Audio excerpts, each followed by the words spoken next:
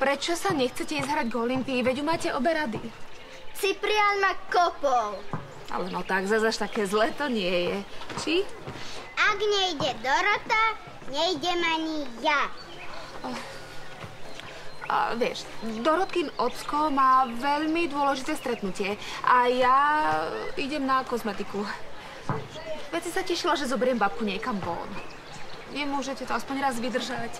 Kvôli mne. Nie! Čo? Nejaký problém? Dorota sa nechce hrať s Cipriánom, vraj kopol. Tak Ciprian zásadne nekope. Kope a riadne. Áno, kope. Nekope. Kope. Nekope. Kope, kope. No, no dobre, dobre, dobre. A nemohol by sa ísť Ciprian zahrať nejakému kamarátovi? Ale prepač, snáď nepošlem vlastné dieťa z domu len preto, že dievča sa nevie brániť. No tak bude musieť vymyslieť nejaký plán C. Ale no tak, no. Olympia sa tak tešila však. No, toto nie je fér. Neboj sa, ocko sa s tebou zahrá. No, skoro celý deň.